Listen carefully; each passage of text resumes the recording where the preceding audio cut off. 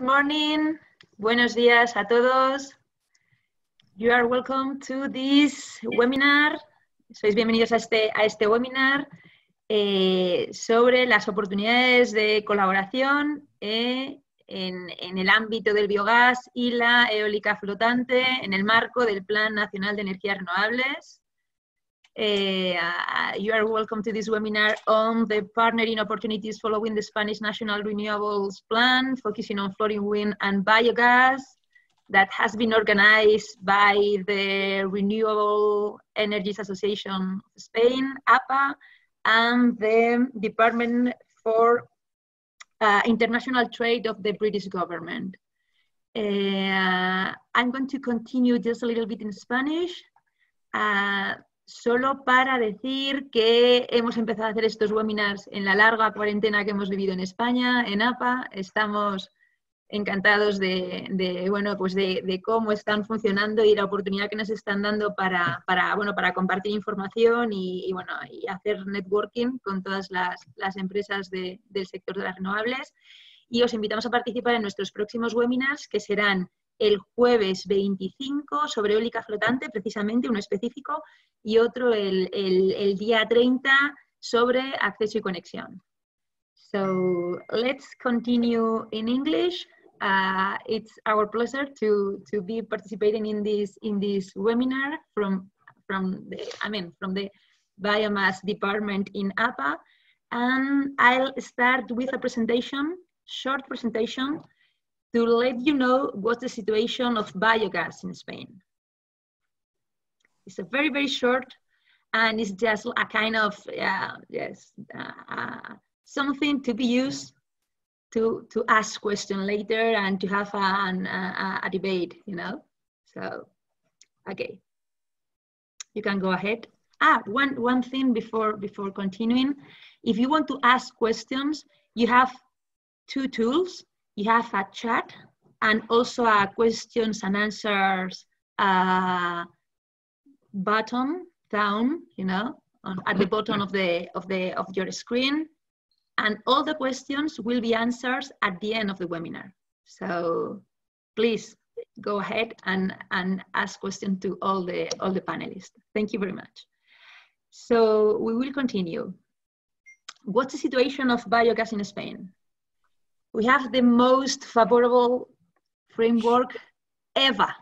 So we have the best, the best conditions to develop biomass and especially biogas now in Spain. Why?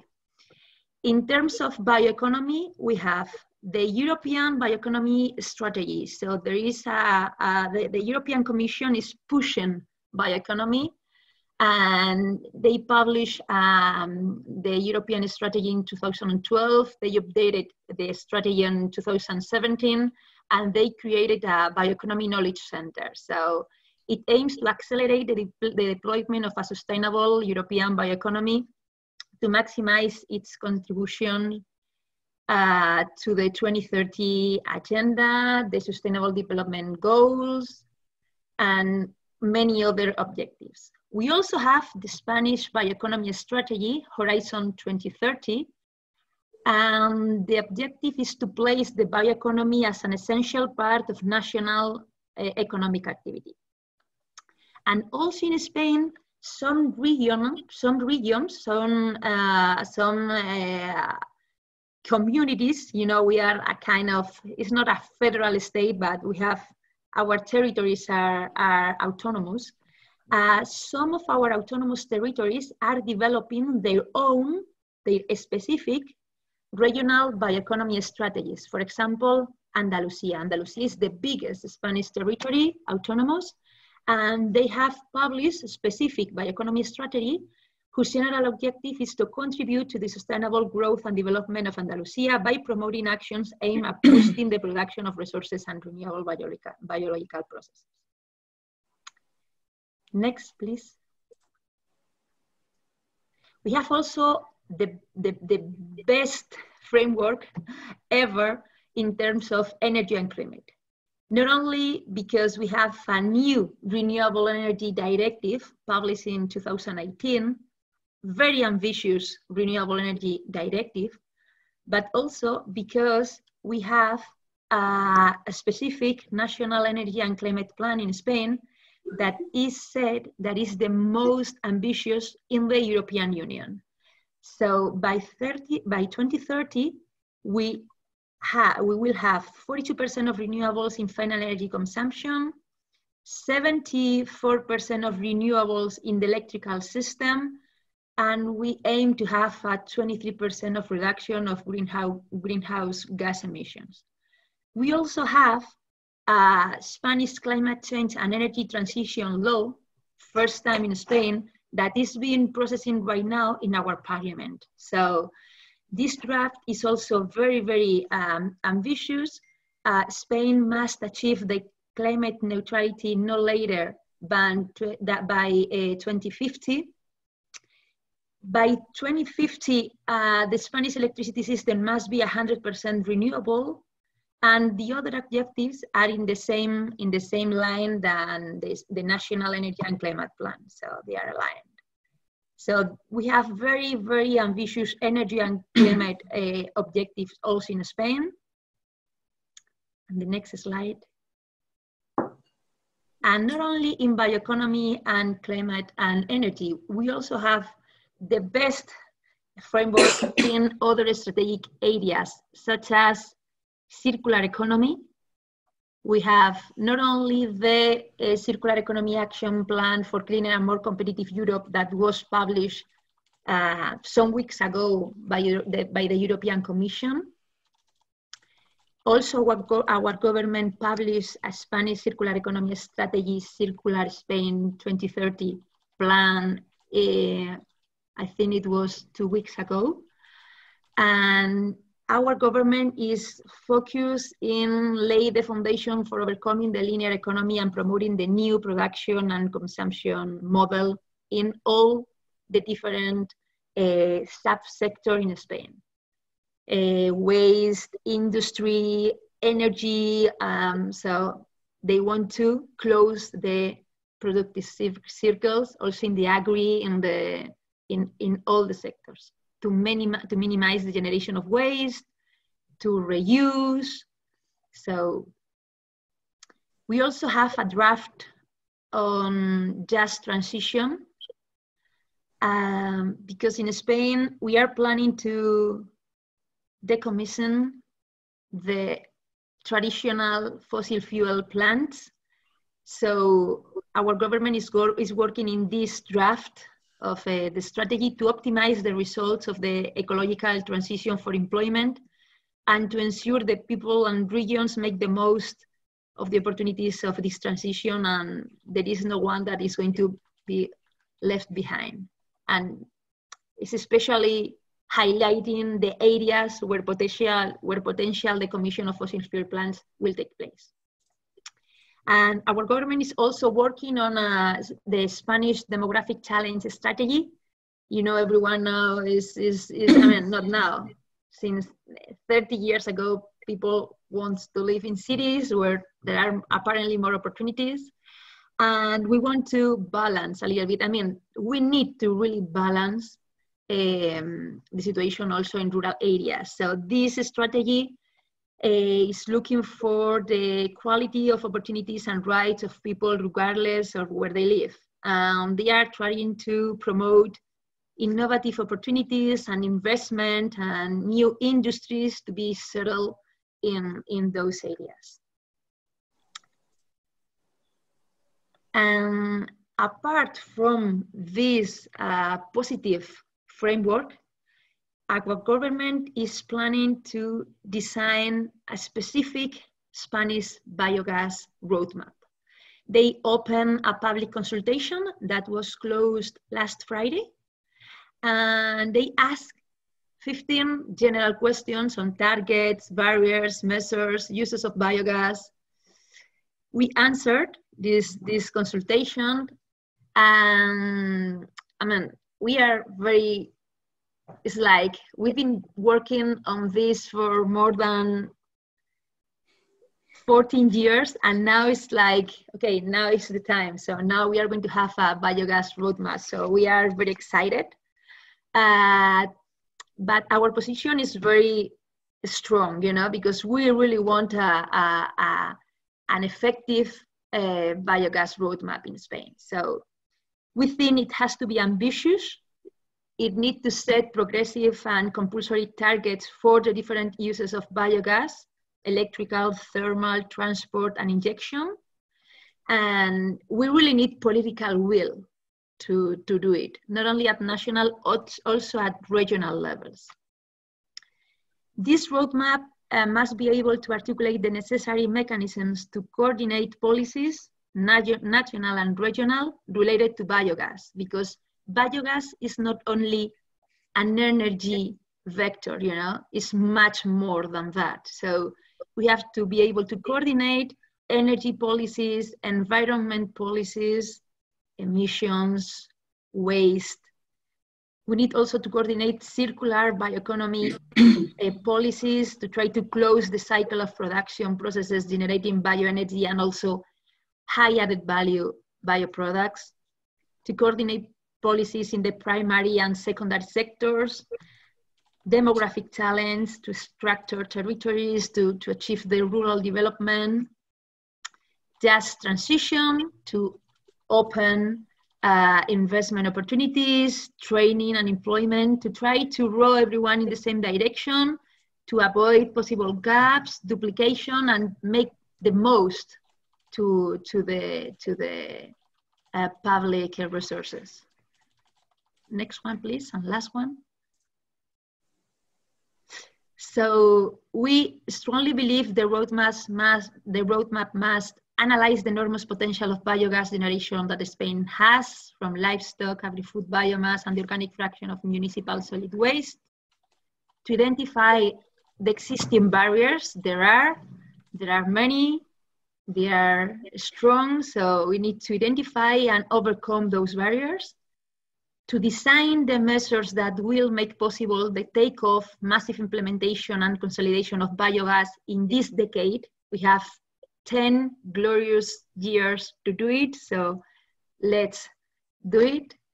And these measures, we describe them in our answer, must be regulatory, economic, so they have to set incentives in taxes, in grants for investment, feed-in tariffs, feed-in premiums, uh, for upgrading especially.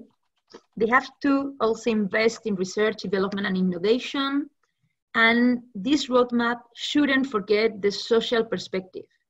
For increasing knowledge for, the, for the empowerment of society, it's very important everyone has enough information to make decisions. Decisions on consuming, on what they want to buy, they don't want to buy, what they want to use. So, and for that, you need to inform society to increase that, then their knowledge.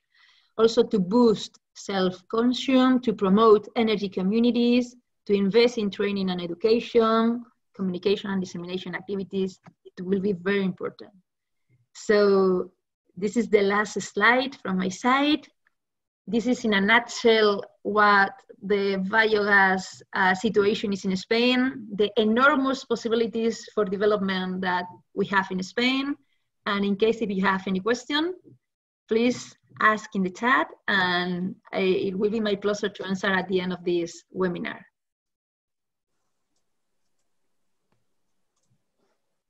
I'll, I'll leave the floor for my colleague, Beñat. Okay, thank you very much, Margarita. So, um, I'm gonna give you, I'm gonna try to give you a, a, a, quick uh, overview of the floating, of the offshore wind and especially the floating wind uh, in Spain. Uh, as you know, there is um, a public consultation opened, as Margarita said, uh, and uh, we are working, uh, we've been, we've been working to, to, to give input and, and and to propose uh, and give some proposals to the Spanish um, government, just to develop the uh, Spanish market on, on offshore wind.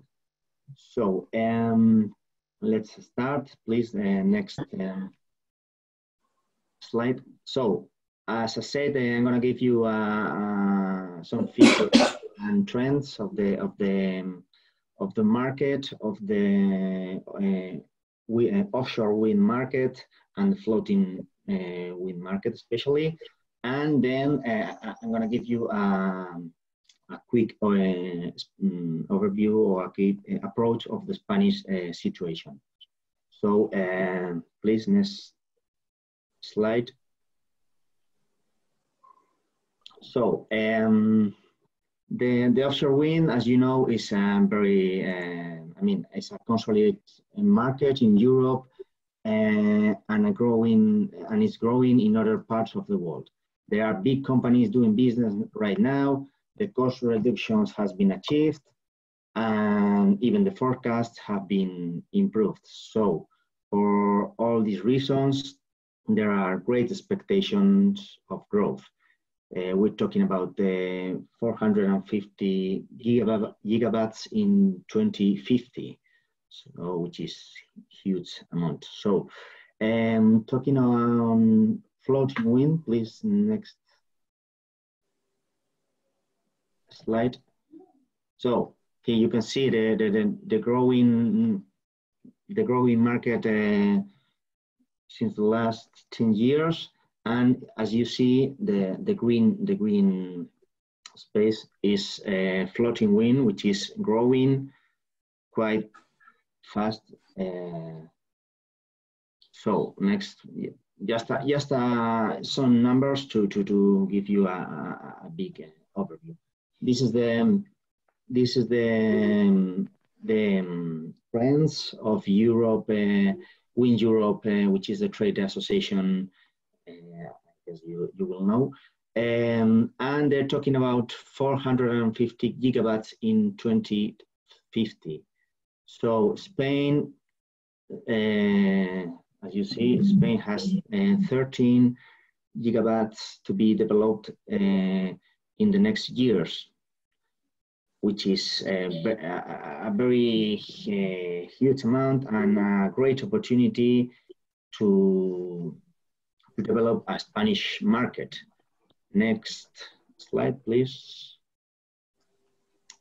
So the floating technology is achieving very, very, very quick cost reduction, as you can see in the figures. And please next.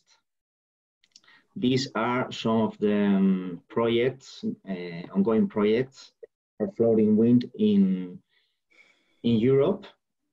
Uh, currently, there are only 40, 45 uh, megawatts of floating wind capacity operational, but there are more than 300 megawatts planned to be deployed uh, in the next uh, early years, uh, between 2020 and 2022. So, and these are some Spanish solutions for floating wind, Spanish technology, there are the several several uh, solutions, several proposals, and um, all of them are Spanish uh, technologies. Um, these are, uh, there are some very different solutions to, develop uh, the floating, the floating, the floating wind systems. So, well, as please please uh, go to the next slide. These are some um, some the first the first um, projects going on in Europe. Scotland in the, in the, in the previous slide. This is a, a, project going on in Portugal. Um, go ahead, please. So, um, why do we think Spain, Spain has to be is is well positioned and has to be a, an important player in this in this field. So uh, we, we, we consider we have a key strengths. We have very good ener energetic resource and natural conditions, about uh, 8,000 kilometers of coastline. We have very good infrastructures and scientific capacities and a great network of uh, tests which are very, very important to develop the, the technology. And this is a, a country of researchers and technologists, um, and there is a very capable industry and a complete supply chain to to so industrial the industrial and the industrial key is uh, important. Um, okay, this is the next. Go ahead, please go to the previous one. Can you? Ah, okay, no, no, it's okay, it's okay. Go ahead. So um, there's a we can, there's a new political momentum, and there are high expectations for ocean for no ocean and and uh, uh, offshore wind energies. Um, and we are working hard uh, on, a, on, a, new legal framework for the next decade. Um, it's a coordinated work between Spanish government, industrial associations, and all the stakeholders involved in this field.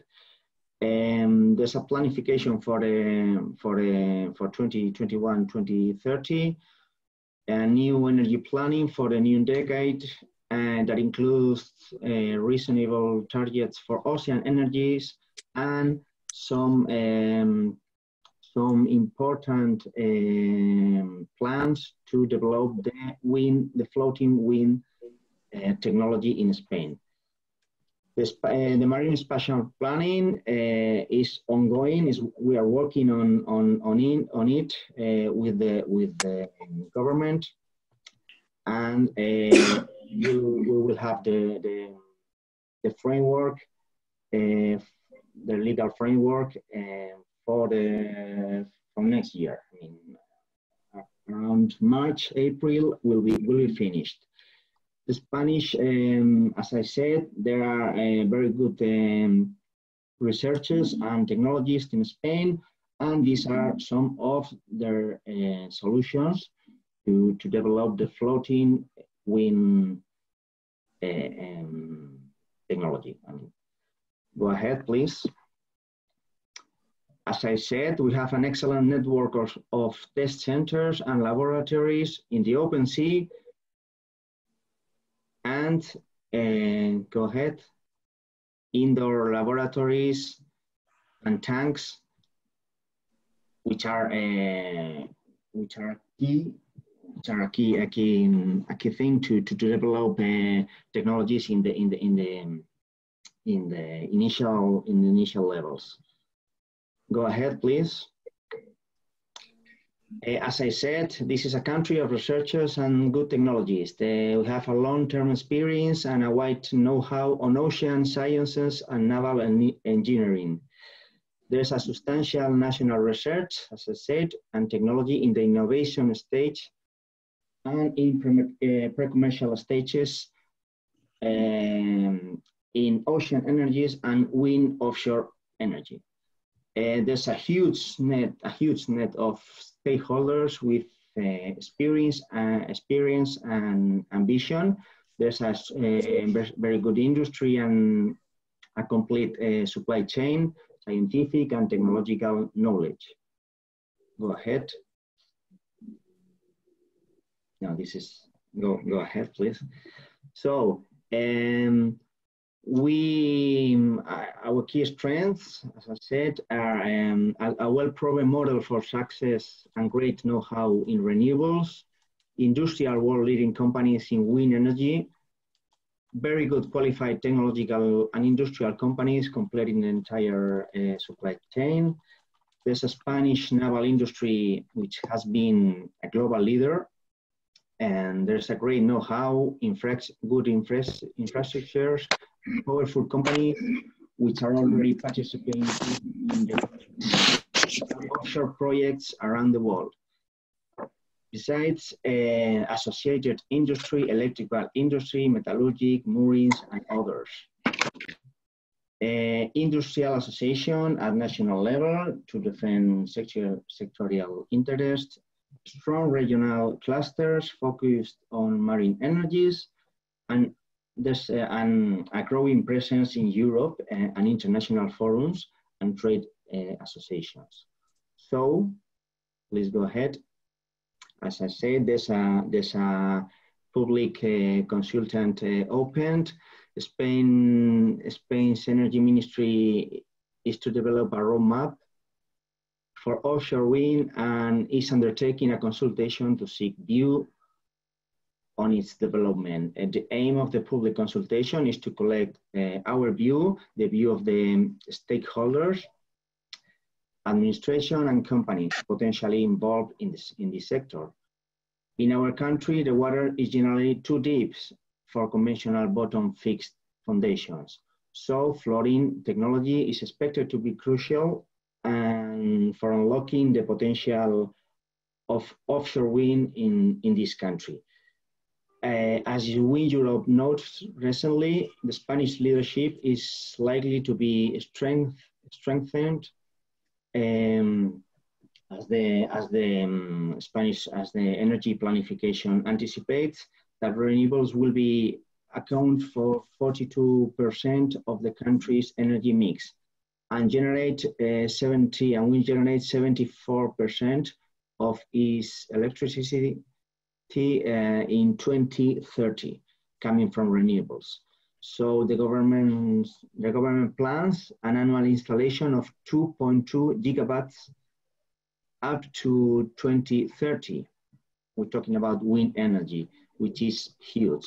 So Spain is now looking to take advantage on, on offshore wind and especially on floating wind.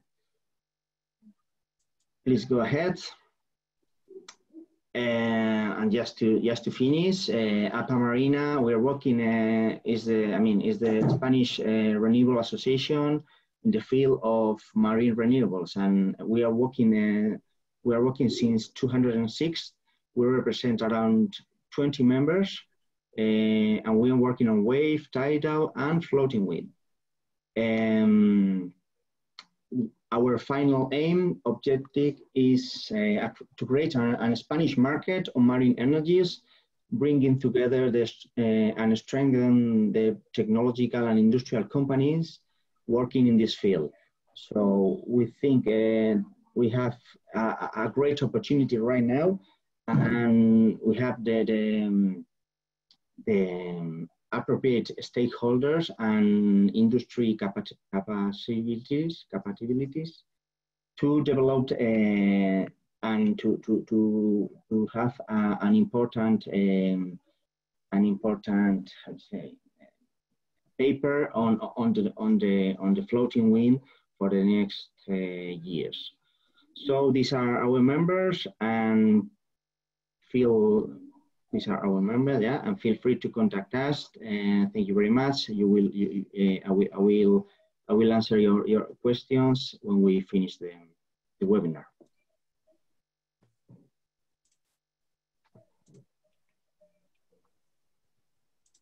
Hello. Um, I think I, am on next. Marianne Carlin, can you hear me? Yes. Yes. Okay. So thank you, Javier, uh, for the present for my presentation. And thank you to Margarita and to Beñat. Um, they've given us, you've given us a really detailed Spain, which I think will be really useful for our UK audience, for our panelists and those hearing us in the UK. Um, as you know, we have in the UK also a very strong market in both those areas. So I'm looking forward to hearing later from our, from our speakers uh, from the UK to, to hear about ways that we can, you can work together and I'm sure there'll be plenty. So before I do introduce the speakers, um, I just want to introduce myself. Uh, next slide, please. Next slide. Okay, yeah. So I work at the Department for International Trade, uh, based here at the British Embassy Madrid. Um, we support UK companies wishing to enter the Spanish market, so linking them up, linking them up with Spanish partners and working together to work together in Spain and in third markets.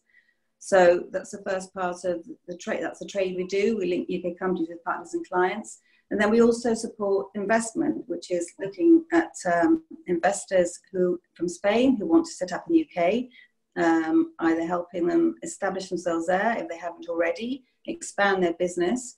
And also, um, any new entrants, we give them a really sort of thorough sort of uh, offer of how we can support them in the UK. Uh, apart from that, um, market access, we have a new department of market access helping to identify barriers for UK exporters and Spanish importers from the UK to help reduce and remove them. So next slide, please. So as I said, I'm based at the British Embassy in Madrid, where we have 17 staff, all in different sectors. I lead on the energy sector. And my colleagues in Bilbao uh, have three staff. We have an energy team there as well. And in Barcelona, six staff, also an energy team. Uh, Carolina, who will speak to you later, she uh, leads on the biogas sector, so she will introduce the, the speakers. And so we are here at your disposal if anybody needs support either from the UK to come into Spain and make introductions to potential partners and Spanish companies um, wanting to enter the UK market in the energy sector. We have a big team, of, a network of support in the UK to, do, to help you do this. So you go to the next slide. And this is how we do it. This is a big team. We have sector specialists um, dealing in all parts of the energy sector. So mainly, the focus is mainly renewables now. So we have um, specialists in offshore wind, in solar, in, in energy from waste, in biogas. I mean, all the areas that we are trying to promote in the UK. We have specialists in who can actually guide you through any um, opportunities that you have in that there are in the different areas, regions in the UK market. And we also work with international trade advisors who are based in all those regions, and they can also advise UK companies wanting to do business in, in other markets, in this case, Spain. We work very closely with the devolved administrations, that is Scotland, Northern Ireland, and Wales.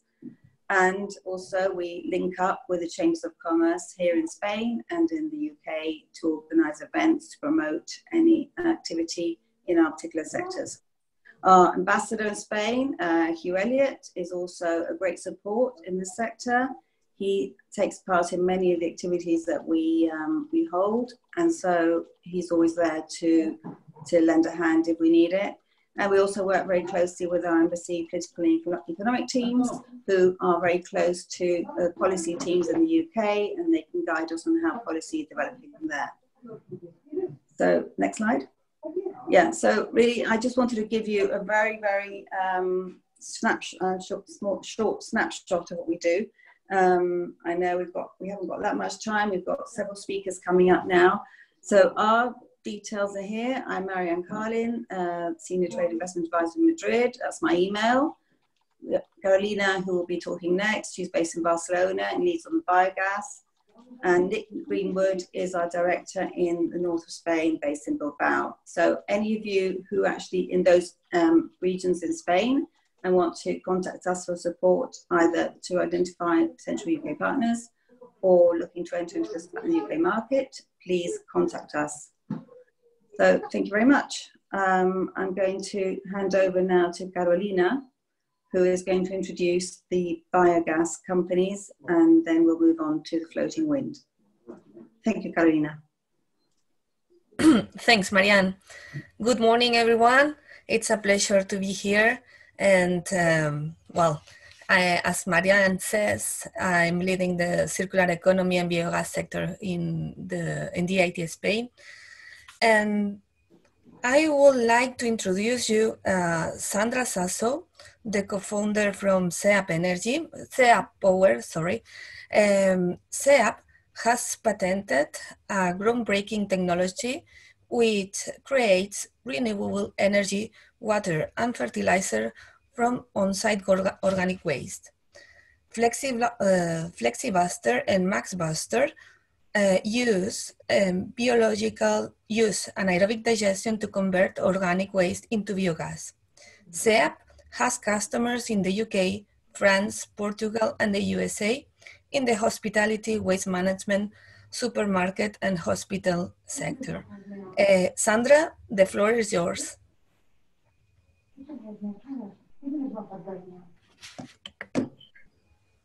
unmute myself. Thank you very much, Carolina. Uh, good morning, everybody. Um, I'm very pleased to be here presenting our uh, small or micro anaerobic digestion system, which we are uh, bringing into the Spanish market. We actually, at uh, a, about a year ago, took investment from Enagás, um, and they are now our lead investor in the company. So we have a very big focus on the Spanish market and entry into the Spanish market we're very pleased to see what's going on with the um, the new consultations and the focus on biogas. So this system is a containerized anaerobic digestion system. It's built in a factory setting and we're able to uh, take it to site and integrate it together in order to put it next to buildings or indeed in buildings in the center of the urban area. Uh, next slide, please. So the solution is scalable. Um, it allows you to adapt the systems from um, a small amount of waste, so 500 kilograms a day, all the way up to two and a half tons of waste uh, going into the system a day. Uh, our FlexiBuster system is part of the family of units that we do. We also have a MuckBuster system, which is targeted at the farm and wastewater sectors. Uh, but if I focus on the FlexiBuster, it'll give you a good idea of what we have to offer. So these systems are containerized and modular, which means that you can put them as flat modules. You can scale them up or down in terms of the capacity that they accommodate, in terms of the waste that they're converting. And we integrate um, all the way through from pre-processing the waste on the inbound, so preparing it to be loaded into the digestion system, all the way to the very end where we can take the, the gas and either put it into an already integrated uh, cogen system or a CHP system, or uh, put it into a biogas boiler, or indeed convert it to uh, compressed gas or road fuel. So it's a fully integrated end-to-end -end biogas system that allows you to take on-site waste and convert it. Um, the modularity makes it financeable, so you can get uh, uh, lease financing for it, and we also can offer off-balance sheet funding for the systems into the Spanish market. Next slide, please. So the system takes in the waste in the front. Um, as the waste is loaded in the front, the uh, pre-processing module uh, kicks in and then it, it, the bacteria inside the main digestion container will consume the bacteria, uh, consume the waste. One of the things that will come out on the uh, far end, on the right-hand side of your screen, is that we're able to take the resulting fertilizer and offer it either as a liquid fertilizer or indeed as a bagged compost and a water stream for the site. So in parts of Spain where water is very precious, this might be another alternative. Uh, we've patented this, uh, this unit um, and the patents have now issued in the European Union as well as uh, the UK and uh, the USA and China and other parts of the world. Next slide, please. Thank you. So this is um, just to give you an idea of some of the sites that we've done. This was one of the very first sites we did, which was an office park with a hotel and a nursery school. And it was processing 500 kilograms of food waste into energy. And the energy and water were the water was going back to a greenhouse operation on the site and the energy going back into a building, uh, one of the office buildings. Next slide, please. This is um, next to one of the largest hospitals in the UK, processing the food waste um, from the hospital and returning the energy value to the building in the form of electricity. Next slide, please.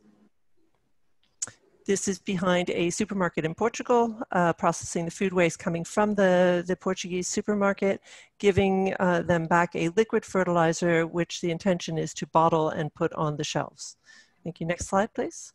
And finally, in France, we have another example, which is a waste processing site where they were doing a small collection round from local restaurants. And uh, uh the uh, they were doing a um, interim waste step where they were separating out the organic fraction um, and before they were having to pay and move it one more step. In this case now they don't move that next step to the final location uh, for the uh, larger AD, but they keep the unit, the, the waste on site and process it into electricity and then put the resulting uh, mulch that they, they uh, generate onto their composting onto their commercial composting facility mm. and uh, complete the circle that way. So again, another point of circular economy. Next slide, please. This is showing in, in a building, in a university setting, um, again, processing, uh, this is, happens to be in the United States, uh, processing 500 kilograms of the university campus waste. It's actually integrated into some R&D work that they're doing around algae and producing fuel from algae. Next slide, please. So these are the types of uh, customers that we work with around the world, um, and we'd be very happy to work with some more customers in Spain. Um, we're looking for our first sites, and we have the funding to be able to support uh, deployment on, on a free basis to uh, customers that have the suitable profile and are looking for a uh, serviced offering. Um, we will support that. We work with large facilities management companies around the world uh, like ENGIE and Veolia and Sodexo, and um, they can support those installations locally um, in the local market. Uh, next slide, please. Um, and these are just, we're, we're based in London. Uh, we manufacture in Portugal, in the UK, and in the United States. And um, we have new operations starting um, well, we, they, they were due to start before COVID in the United States. So um, very shortly, uh, once we're able to travel again. Uh, next slide, please. So thank you very much for um, listening. If you have any questions or you would like to partner with us or you have a site that would be suitable, please, please get in touch. Uh, we'd be very happy to work with you on any issues that you have for the consultation and to be able to participate in um, getting the regulatory framework uh, in Spain to allow for the positioning of these small micro plants on, on sites so that we can reduce the amount of travel that the waste is doing. Thank you. Thank you very much, Sandra. Super interesting, your presentation. Um, well, the next speaker in the UK, currently uh, there are around 700 digestion plants, uh, 100 biomethane to grid plants. For me, it's a pleasure now to introduce you uh, Nicolas Hoquet, sales manager at Greenlane Biogas. Greenlane Biogas is the world's largest biogas upgrading company, pioneer developer and leader in water wash biogas upgrading technology with over 100 global installations. Greenlane is well positioned as, the, as they are able to provide the three primary biogas upgrade technologies, water wash, membrane, and PSA. So Nicolas, the floor is yours. Thank you. Uh, good morning, everybody. Thanks for your attention. I just represent, I just present you my company in a few, in a few words. Uh, so I'm uh, French, I'm located in France, but the European headquarters of the company is located in UK, uh, in uh, Sheffield. Uh, next slide, please. next, I'm sorry that we have to, to click several, yes. So Glen, uh, Greenlane Biogas is old company created in uh, 1986 in New Zealand. We have more than uh, 30 years of experience. Since June of last year, uh, we become Greenlane Renewables.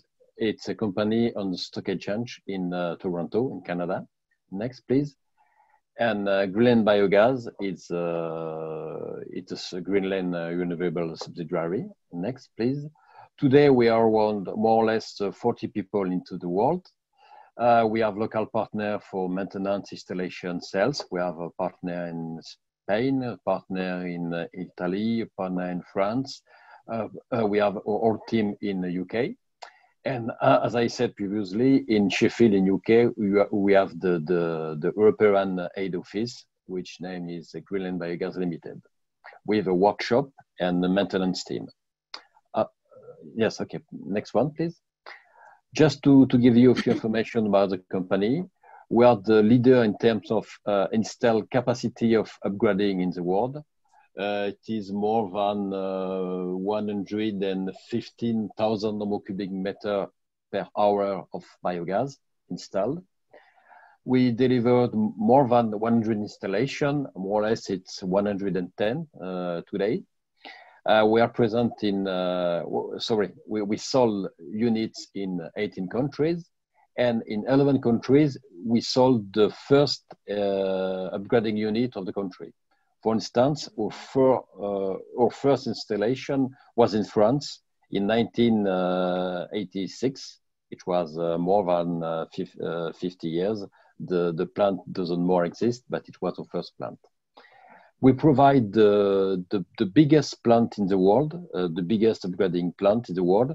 It is in Quebec, in Canada, in French Canada, in Montreal. It's uh, 16,000 uh, normal cubic meter per, per hours of biogas.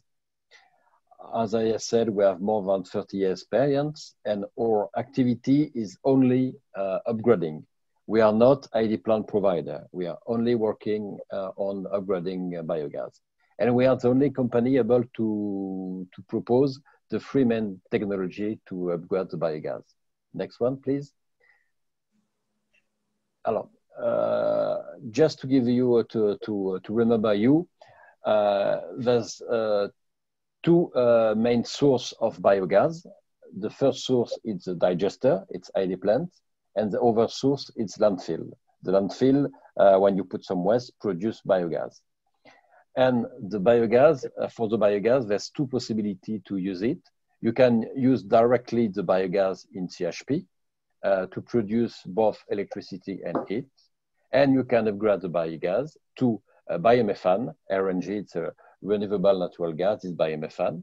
This biomethane could be directly injected into the grid in pipeline or it could be compressed or liquefied to, to be used as, as a fuel for vehicles.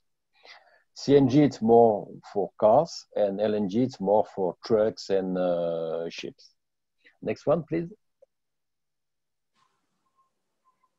So uh, Greenlane uh, Biogas is about to provide the free main technology, water wash, uh, PSA or membrane it will depend of the quality of the biogas and the quality of the expected uh, biomethane. Uh, next one, please. In function of the, as I explained, in function of the quality of the gas and uh, in function of the origin of the biogas and the quality expected of the biomethane, we will choose PSA, membrane, or water wash. Next one, please. Uh, next, sorry, again. We can also propose combination of several technology, excuse me. We can also propose some pre-treatment technology, especially for PSA for membrane upgrading technology. Next one, please. This technology is uh, set up to remove H2S, VOC, and siloxane. Uh, this three kind of pollutants cannot be removed by the upgrading unit by itself. Uh, the treatment could be made by activated carbon, by chemical scrubbing, by iron oxide, by uh, biological system, etc. We can also propose treatment from off gas. The off gas is uh, to say uh, the input of the into the machine. The input is biogas. The outlet is biomethane plus off gas. The off gas mainly is uh, it's CO2 so we can propose some system to remove also H2S in in uh, off gas, uh, VOC, siloxane, especially for water wash and for PSA. RTO, it's a, it's a system of uh, thermal oxidation of the of the of the off gas. Efflux is a kind of thermal system to, to treat the off gas. We can propose chemical scrubbing, etc., etc. And into the off gas, we can also propose a system to recover the CO2. It's possible with the, the membrane technology and with the PSA technology. Next one, please. You can also propose some post-treatment for the biomethane. Uh, for instance, if you have very uh, strict specification into the grid, uh, you can add some system to polish the biomethane. It's kind more or less it's kind of PSA. Next one, please. So the, the, the, the, the, the, the goal of this additional equipment is to remove the, the N2 and the O2 into the biomethane to reach some very low content. As explained, polisher. Next one, please. It could be a deox. Deox is more, uh, mainly for to remove the oxygen, etc. Uh, the three, I will pass uh, quickly on the three main technologies. Next one, please. The, the first technology is the more uh, used in the world until now, is the water wash technology. Uh, next one, please. Uh, it's a very simple system. Next one. I'm sorry, uh, I, I didn't know I will have to ask next one each time. The, the methane recovery, it's very high. It's 99%. it means that if you are if you have uh, 100 molecule of CH4 into the biogas, you will recover into the biomethane 99 uh, molecule of CH4. We don't need any pretreatment for the water wash. All the H2S, VOC, siloxane are uh, managed by the system. The capex is low, especially for big machine, and the opex are very slow, compare, very low compared to membrane or other system because there's a few electrical consumption and a, few amount of consumable. Next one, please. Next, it's uh, just just a small drawing to explain you the system. There's two columns. The first column is a scrubber, scrubber column, scrubber vessel. In the in the bottom, we have a boiler. We push the compressor. Sorry, we push a nine bar pressure the the the biogas throughout the column from the bottom to the up of the column. And uh, there's some water, like a shower, which falls from the, the, the top of the column to the bottom to the bottom of the column. And the CO2 content into the biogas uh, under pressure at low temperature, low temperature means around five or seven degrees Celsius, uh, the water will catch the CO2 and the, the, the VOC and the siloxane. And in the top of the column, uh, the outlet is the biomethane. There's a system, a TSA dryer, to dry the, the biomethane. And the biomethane, biomethane is ready to be injected to the grid or to be compressed, to, to, be, uh, to be liquefied later. After we have the second column, it's a flashing vessel because into the water, a small part of the CH4 uh, could be uh, could go in solution into the water. So we decrease the pressure from nine bar into the, the previous column to uh, six or five bar.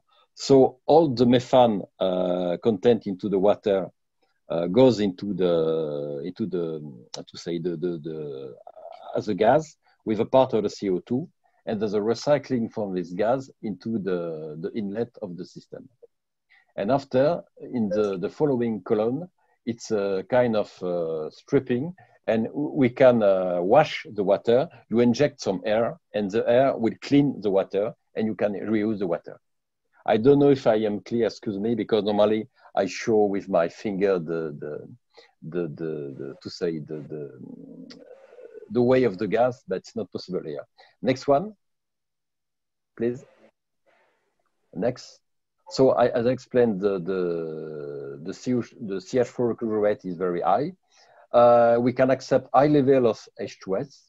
There's no, uh, you don't need any pretreatment and the specific consumption are very low. Next one. Please. Uh, over possibility, over technology, the PSA. The PSA I, I, I, will I will go more quick. Uh, excuse me, more quickly. The PSA it's a system very uh, well uh, suitable uh, suitable for very uh, bad gas, very bad biogas. It means gas with lots of O2 or lots of N2. Uh, for instance, it's gas from landfill. Next one, please. Next one and it's very uh, it's very uh, interesting for in case where the biomethane are um, has to respect very strict uh, specification. For instance, we have a project in California, and we use PSA to, to be able to reach the quality expected of the biomethane. Next one, please.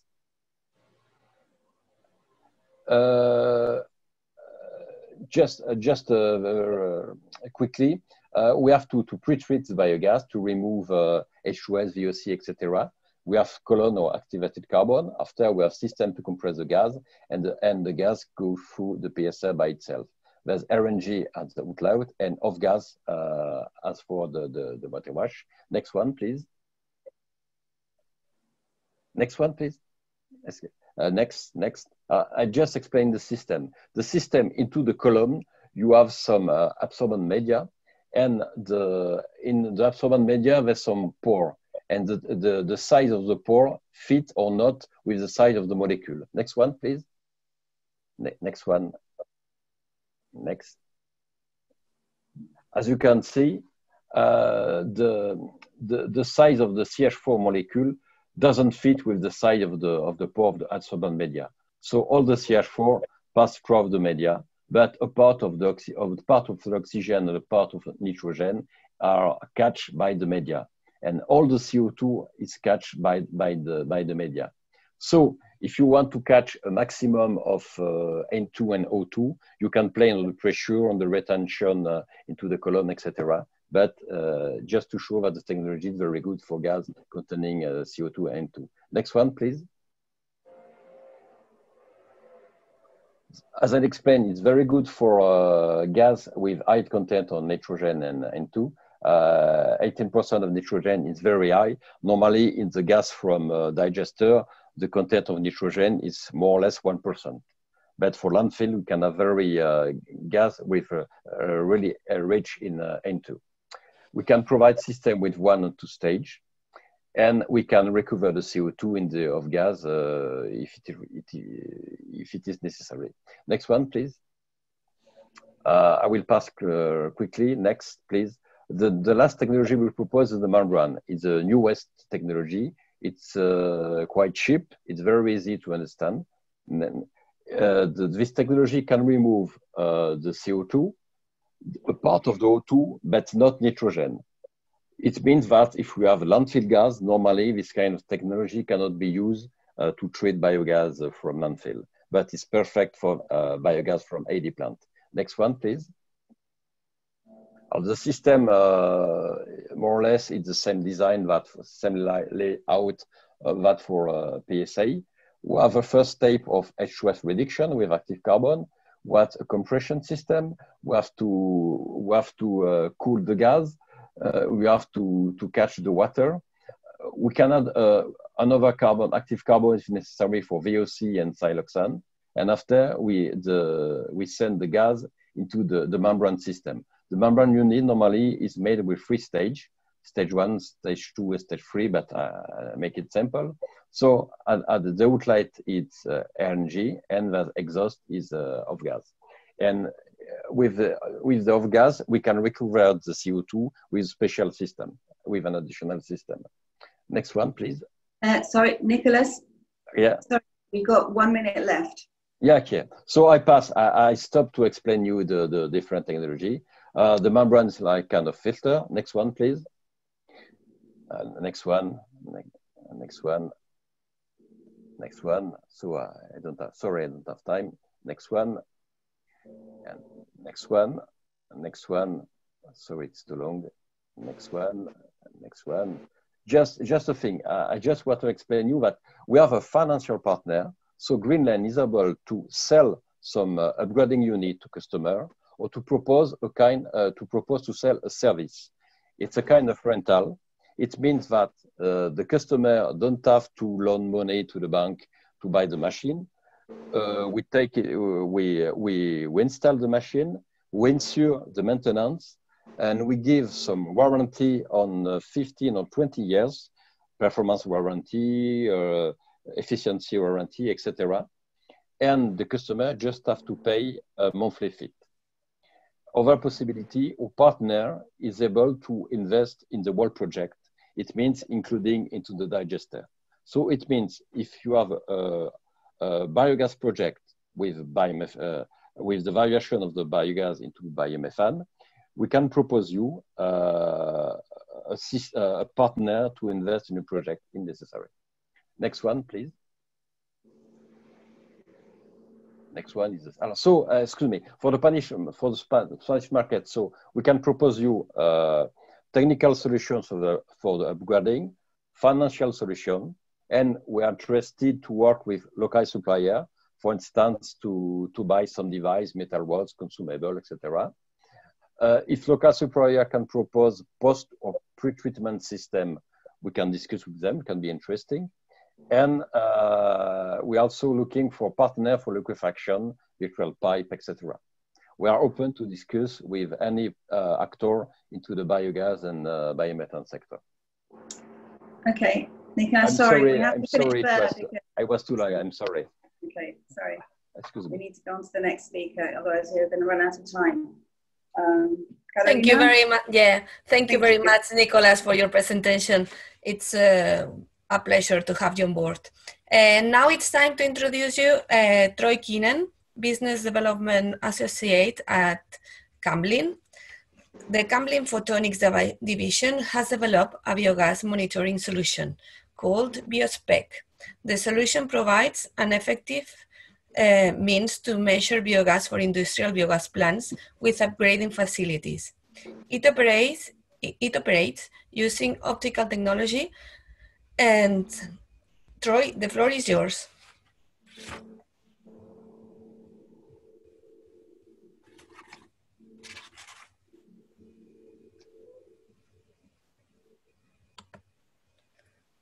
Troy, you are on mute.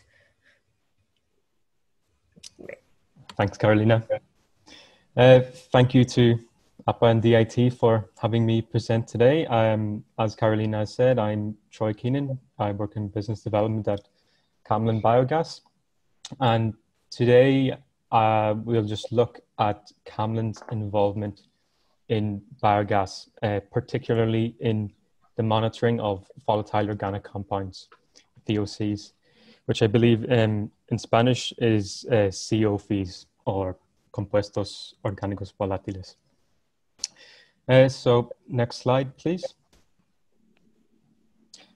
Uh, just to explain a bit about who Camlin are. Uh, so in simple terms, we, we work with global electricity, gas and rail infrastructures to provide um, cutting edge technologies and solutions. So our, our target is to help the customers uh, to uh, con connect data from our instruments um, to the knowledge that they need to make the appropriate decisions and improve their operations. Uh, so by providing these data, um, these data-driven insights, we, we help our customers basically to keep the lights on, keep the gas flowing, and keep the passengers moving all in these critical infrastructure sectors. Next slide, please. Uh, so uh, have quite a global reach. So we have facilities in 21 cities across 17 different countries with our headquarters being in Northern Ireland in the UK. Uh, next slide. We also have a global customer portfolio and you might recognize some of the companies here. Uh, so our, our core mission as a business is to work in partnership with our customers to develop solutions that, um, that are going to drive their success in delivering tomorrow's smart energy infrastructure and transportation networks.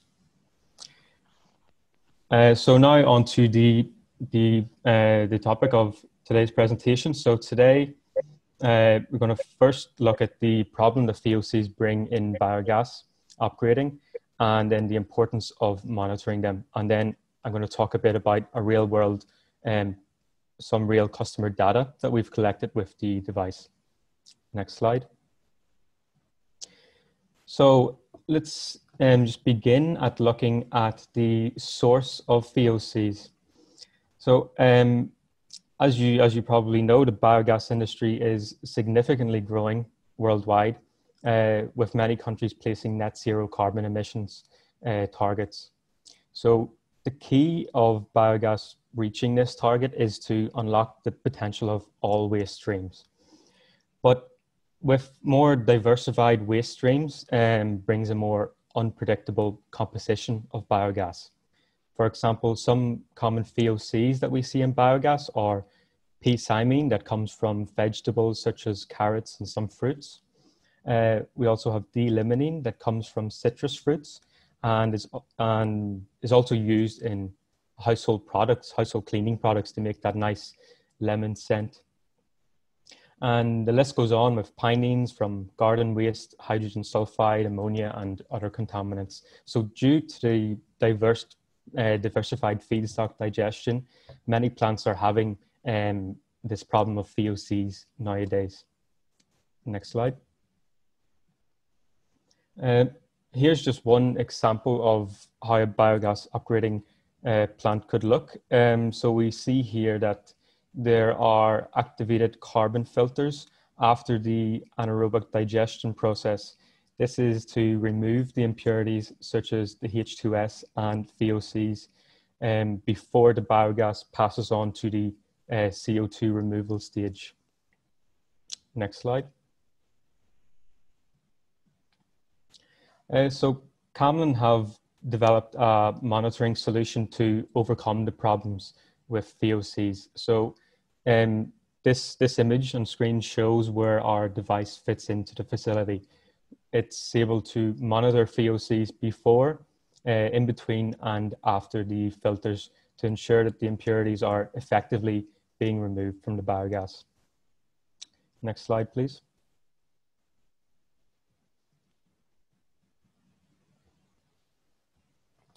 So if we if we don't monitor these VOCs, it can lead to an increased spend on activated carbon filters due to replacing the filters too early. Um, also, if the VOCs are not properly removed by the filters, damage can be caused to the, uh, to the expensive upgrading uh, equipment. And lastly, it's essential to uh, it's essential that biomethane that's being um, injected onto the gas grid meets uh, very strict specifications. Uh, as if there are too many contaminants in the gas, it can result in non-compliance and in the risk of the plant being shut down for a period of time. Next slide, please. So um, here is an example of data that we have uh, taken with our BioSpec VOC device at uh, this is at a plant in Northern Europe, and this data is over a period of three months. So uh, we're presenting here just a couple of the gases measured by the analyzer, uh, and this is before the activated carbon filters. So the feedstock of this plant is 100% food waste. And we're looking here at some of the terpenes, uh, P-cymene and D-limonene, uh, which are two of the most common terpenes in, in biogas. Uh, that we can also see here are in the tens to hundreds of parts per million levels. Uh, and also uh, 2-butanone, which uh, we can see here in white, uh, is one of the ketone molecules, which is also presented here at 50, 50 parts per million. So the levels of these do change over the year depending on the mix of feedstock going into the digester. However, this gives us an idea of the level of contaminants that can be found in the raw biogas. And next slide, please. So uh, here we're now looking at the data from the same three month period, but uh, showing the concentration of the VOCs in the gas after the activated carbon filters. Uh, we can see that for the majority of the time, the concentration of the VOCs is zero, um, as we would expect. However, at a certain point in time, we see that the 2-butanone compound is starting to rise rapidly, uh, which lets us know that the activated carbon filter is reaching its saturation point. Uh, 2-butanone is one of the smaller uh, ketone molecules that's in the gas. So this shows us that different molecules can break through the filters at different rates. As the larger molecules P-cymene and D-limonene are, are not yet breaking through. You may notice that when compared to the previous graph, the 2-butanone levels are higher after the activated carbon filters than in the raw biogas. Uh, this is because the terpene molecules are replacing the ketone molecules in the activated carbon and effectively forcing out the ketone molecules. So we can see a spike in ketones at the point when the activated carbon filters are being saturated. Uh, then, then we can see that after the filters uh, were replaced, the values dropped back to zero for a number of days before they started to rise again. Um, and this biomethane plant uh, uh, used in this information uh, was able to use this information to effectively uh, replace their filters and prevent the VOCs from leaking through and damaging the membrane upgrading process. Um, and they were also able to select the most appropriate type of filters needed for the feedstock being digested by, by having this information. And next slide, please. So uh, Camlin uses a technique called optical spectroscopy to measure the, the VOCs. So our device, the, the BioSpec VOC, uh, measures a range of gases in a single measurement, uh, including all of the terpenes, ketones, silenes, and other gases uh, that are shown here. Next slide, please. So this uh, this is a, a, new VOC measurement method, um, uh, which brings with it many many benefits, such as uh, it doesn't require any carrier gas or recalibration. Um, it's simple to operate, so you don't need any uh, expertise, um, and it's it's quite it's very cost effective with accuracy uh, that's fully suitable for uh, VOC monitoring in biogas upgrading or biomethane plants. Um, it also brings a range of benefits to the biomethane plant as it helps to reduce the operating expenditure, uh, maximize the uptime of the plant, and is also low maintenance and can be it can also be easily integrated and installed in new or existing plants. Next slide, please. Uh, so that that sums it up from me today. Um, I just also like to mention that the the data presented uh, that I talked about today in this case study was from a collaboration with a biogas upgrading company who were seeking new ways to better optimize their plant. Uh, um, we're also working on a number of other uh, collaborative uh, innovative projects for other parts of the biogas plant from the AD plant itself, as well as the gas grids um, in the bio, that the biomethane is injected to. So we welcome new col uh, collaborations. So um, you can uh, contact me if uh, uh, to, at the email address on screen here, t.keenan at camlingroup.com if you'd like to discuss um, anything else. So uh, thank you very much and I'll hand on to next next session. Thank you very much, Troy. Uh, super comprehensive, your presentation, and very, very interesting. Marianne, I hand over to you, and then you can introduce the, the wind sector. I think that you are on mute, Marianne. Marianne, you're still on mute. Okay, sorry, that's, uh, I'm all right now, I guess. Um, yes, thank you very much to the biogas speakers. Moving on swiftly to floating offshore wind. Just uh, very quickly, um, as you know, the UK is the largest offshore, has the largest offshore wind industry in the world right now. Um, we have an ambition for 40 gigawatts for 2030, and um, within that, uh, the UK is likely to require a minimum of 20 gigawatts by 2050 of floating wind uh, to achieve our net zero targets. So, uh, very big industry in the UK. Hopefully, we'll be able to support the Spanish industry, which is growing also in, in Spain. And so, over to our first speaker, who is uh, Bruce Valpy from BVG Associates. Uh, BVG provides strategic consulting for the renewable energy sector, focusing on marine and wind. They've been working with UK government on, on roadmaps, well, the UK government and other governments uh, around the world on different roadmaps and advising um, in policy, cost reduction studies, etc. So real experience in this area. Um, so over to you, Bruce, if you can just uh, give a presentation of what you actually do and how you can enter the market, how you're hoping to enter the Spanish market. Thanks, Marianne, and good afternoon, everybody. There we go. Um, so next slide, please. Uh, so we're a uh, a business economics and um, technology strategy uh, consultancy active globally. I think what differentiates us uh, is that we are highly focused uh, on the wind industry, so have huge experience in, in, in that area. Next slide. Just as some examples of um, current uh, and recent projects, um, Benar mentioned earlier, uh, uh, 450 gigawatts roadmap for uh, offshore wind in Europe up to 2050.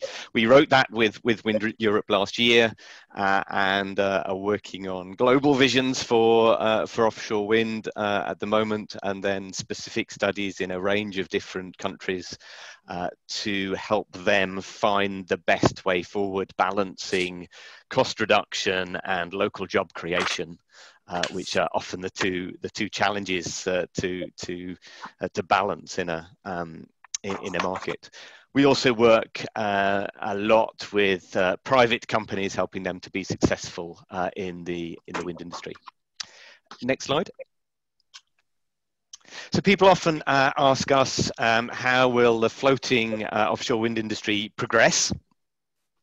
We expect it to progress relatively similarly to the standard uh, bottom fixed uh, offshore wind industry, how that progressed over the last 15 years or so, uh, but a fair bit faster.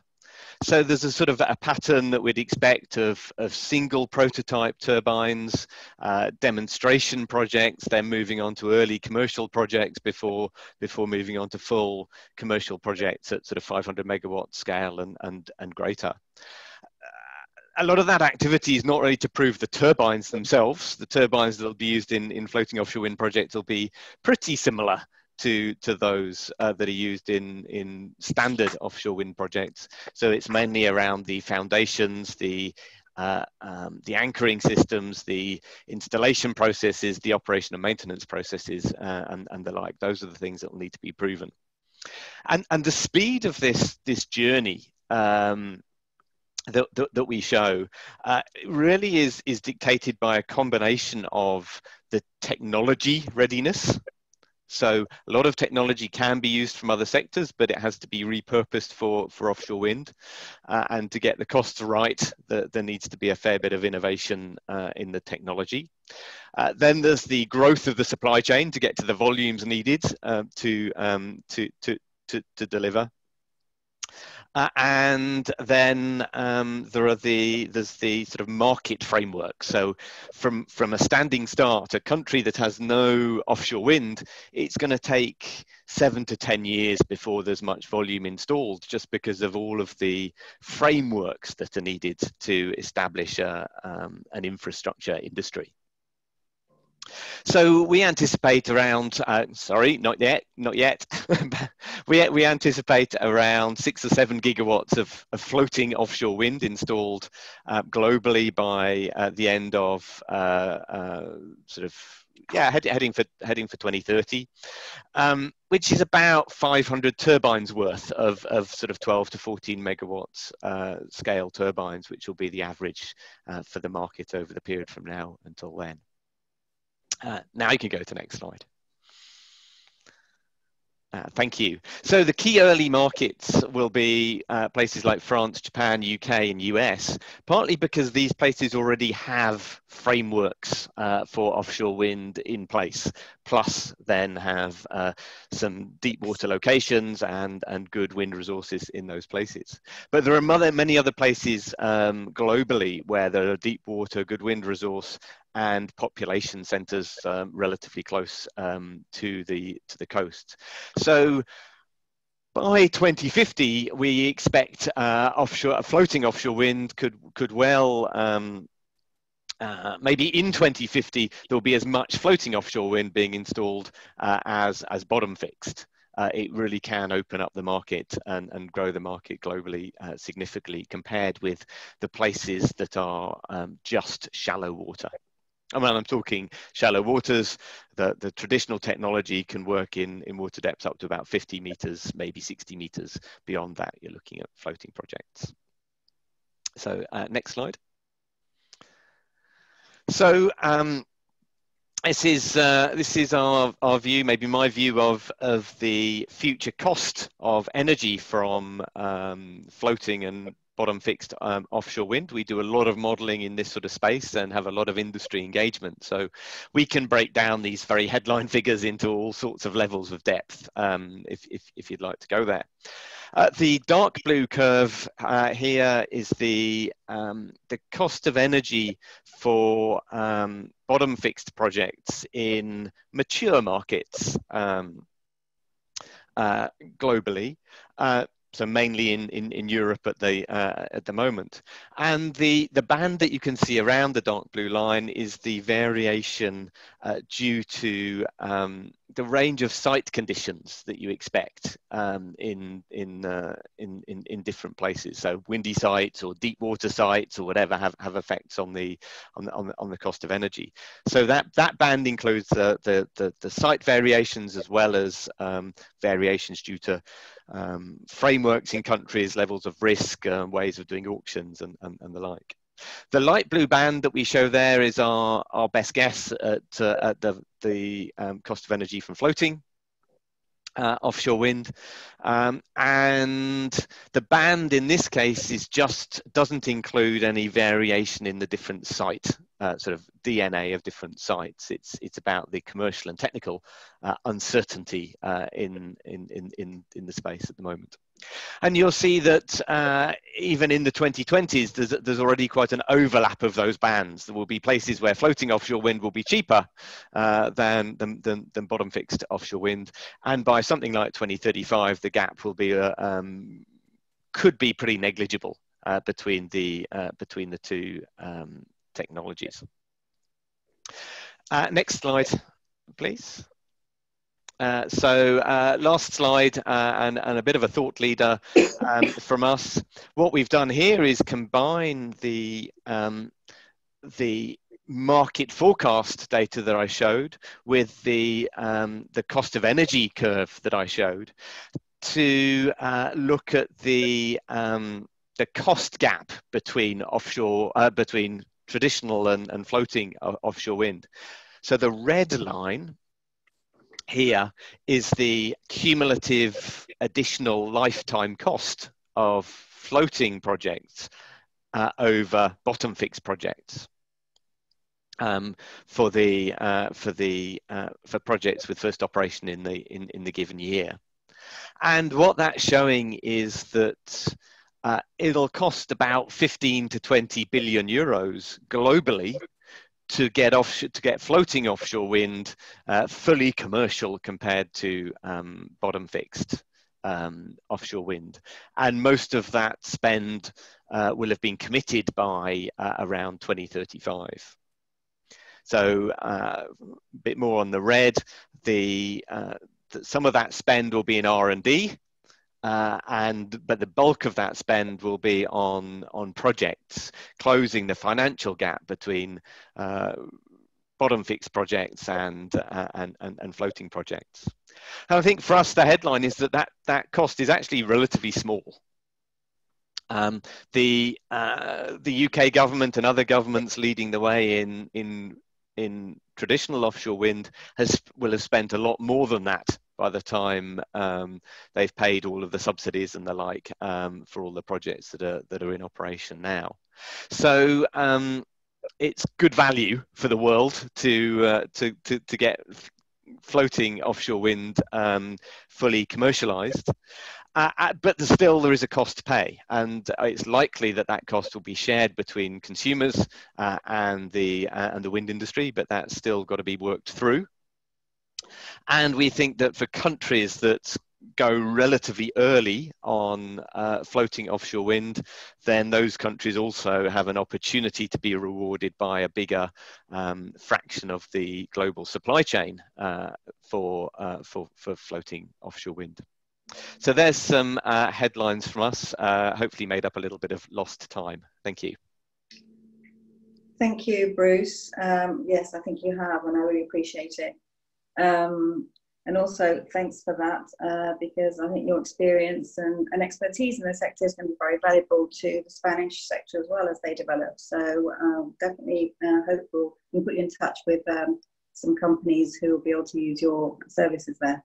Okay, so let's go. Let's uh, go to Atkins now. Atkins uh, provides is, is a very big, uh, well-known consultancy provides engineering design and project management uh, services to around across the energy um, sector, oil and gas, renewables, nuclear and conventional. They have been involved and they're partners in the Kincardine uh, project in Scotland uh, with uh, ACS Cobra and also involved in the Hywind and uh, yeah, and the Windfloat um, project in Portugal. So um, also a lot of experience there. So over to you, Chris. Lovely. Thanks very much. And it's a pleasure to speak with you all today. Um, as mentioned, my name is Chris Cowan. I'm the Offshore Wind Market Director for SNC-Lavalin. Atkins, um, I'm based in the UK, um, but my role uh, is global. Excuse me. Um, before we touch on floating wind, I'll give you a very quick overview of Atkins, what we do in offshore wind as a whole. Appreciate I only have 10 minutes. I'll keep this, uh, this part very short. So go to the next slide, please. Um, Atkins is part of the SNC-Lavalin Group, having been acquired in 2017. And, and as mentioned, we're one of Europe's largest engineering consultancies with over 75 years of experience in the delivery of major industrial projects. And we have a combined workforce of about 50,000 strong worldwide across uh, 50 countries. So we offer a unique global service in integrated planning, design, engineering, um, and project management with particular focus on projects in energy, transportation, and, and the infrastructure sectors. Atkins has about 45 years offshore engineering experience, driven very much by the hydrocarbon market, um, and more recently the renewable energy uh, market. Our experience ranges from design, so concept and detail, right the way through to integrity management, safety, and, and reliability um, assessments. Um, so next slide, please. Um, so Atkins has a long history, as I mentioned, in, in offshore engineering, um, spanning 55 years or more. This has allowed us to transition into offshore wind seamlessly, whereby over the last 15 years, we've been involved with 56 offshore wind farms and over 8 gigawatts of electricity depends on our installed structures. So during this time, we fully designed and installed about 19 offshore substation platforms um, in excess of 375 fixed foundations, of which about 58% are jackets um, and the rest are monopiles. And we've worked on about 11 floating offshore wind projects, which have included semi-subs, tension platforms, spars, etc., for projects such as Dounreay Tri, Kincardine, uh, Windfloat, and Hywind, for, for etc., which I'll, I'll cover in a little bit more detail um, shortly.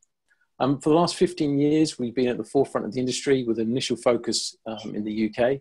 But as this industry matures and expands globally, we've had to as well. So we're now operational um, across the globe, working in China, France, Germany, uh, Holland, South Korea, Japan, and USA, to, to, to name a few.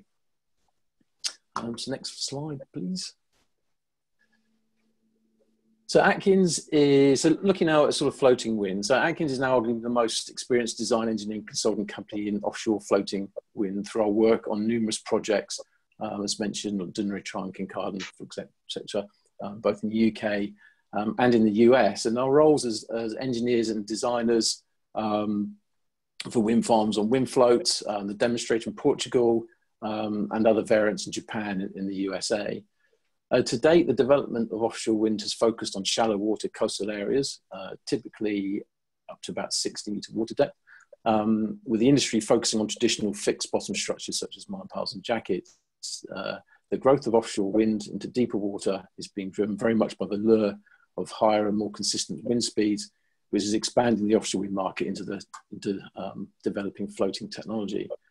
Um, and as the LCOE has tumbled for fixed bottom structures in Europe, and we're now seeing emerging uh, global offshore wind markets um, in Asia and in the US. And these markets are not only targeting fixed bottom, but they're also um, got the presence of deep water, which is in turn helping develop floating wind technology as well.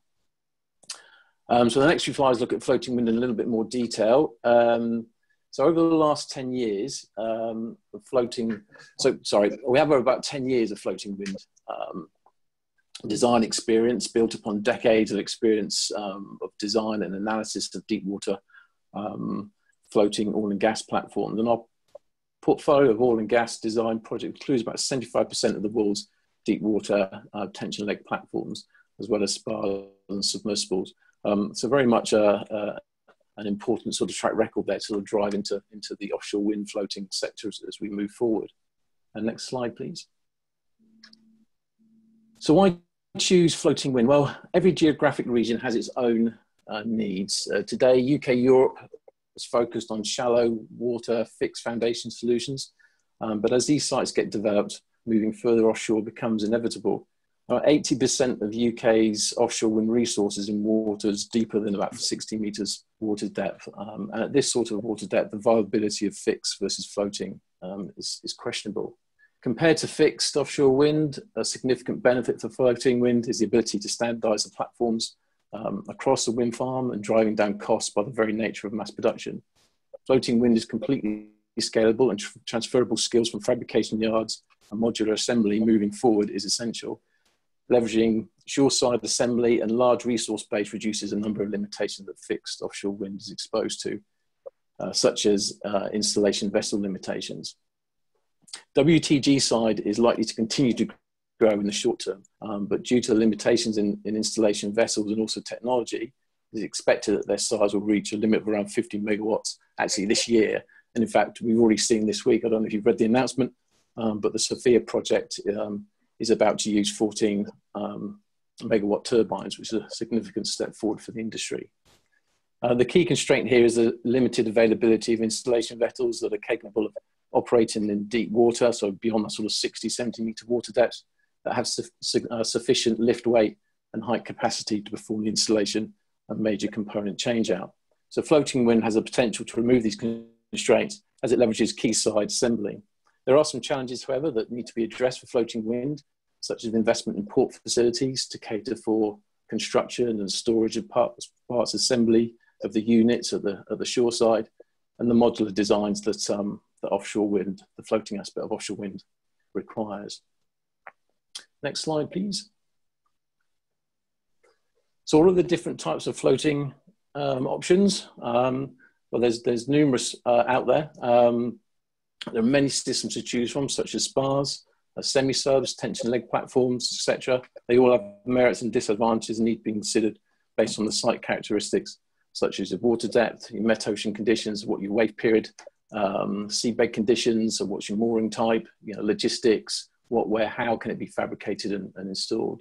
And there are other factors too that resonate into the engineering, um, um, into, into the engineering aspects that you need to consider, such as stability. So where's the stability provided? Is it buoyancy aids? Is it water plane? Or is it mooring tension? Hydrodynamics, so movement created by the metocean, structural, what sort of buoyancy system platforms required? Are there other technologies that are going to be used on the, on the platform? Uh, fabrication installation is the fabrication complex. And remember, if efficiency and cost reduction comes from mass production, so simple fabrication will pay dividends. Um, can it be assembled at quayside or is it a separate installation? And so on and so forth. And then you've got your mooring system, tension, catenary, taut, O&M, will it be maintained site or towed back to port? So there's lots of things to consider um, for the for the floating sort of aspect. Um, as what we have seen in the industry, though, um, you know, the monopiles. If you go back uh, only just a few years, you know, the water depths that monopiles um, can be installed in have you know jumped forward rapidly. We're now putting monopiles in 40 plus meter water depths. Um, jackets, um, 50 meter water depths is not unheard of for for offshore wind. But there is a there is a tipping point as to when jackets and and monopiles and floating wind become sort of um, or, or, the scales tip. Um, and you know, with semi-subs, you know, 40 plus meter water depths, you could get a semi-sub in there just about. Um, and floating, sort of for the TLPs and spars, you need slightly more deeper water depths of sort of 100 meter plus sort of range. So um, the market is ever ever evolving, but there's just like a bit of a bit of a cost benefit analysis on on all of that. So the next slide, please. Um, so Atkins' capability within um, floating wind turbines ex extends right from the project inception through to design, fabrication, into the service integrity. Um, our experience resides in design services, so concept feed and detail design of the complete WTG uh, structure, mooring design, dynamic cable and grid connection. We do owners engineer services, um, including supplying staff to perform key package manager roles within plant teams, early concept development and site selection studies, consenting support, and supporting to the wider industry in developing energy policy regulation and codes and standards suitable for the growth of floating wind markets as it sort of evolves around the globe. So a few projects here just to mention, WindFloat that's been talked about once or twice um, by a couple of the other presenters. So Atkins completed the structural and the marine system pre-feed, feed and detail design and the fabrication support for the two megawatt WindFloat Type 1 prototype which is located in Portugal um, on behalf of Principle Power. And since then, we've been sort of um, uh, pivotal in, in upscaling that technology for six and eight megawatt versions uh, for several locations around the globe. Kincardine 2 has been mentioned. Uh, we've conducted the feed for the Kincardine semi semi-spar. It was a concrete floating turbine um, the largest uh, capacity floating wind farm consented at that time. Uh, in fact, we were we were one of the um, co-developers there on that. Um, Hywind Installation Challenge, and Atkins won the Statoil Innovation Challenge to produce um, technology for enhancing the efficiency of the transportation installation of Hywind spars.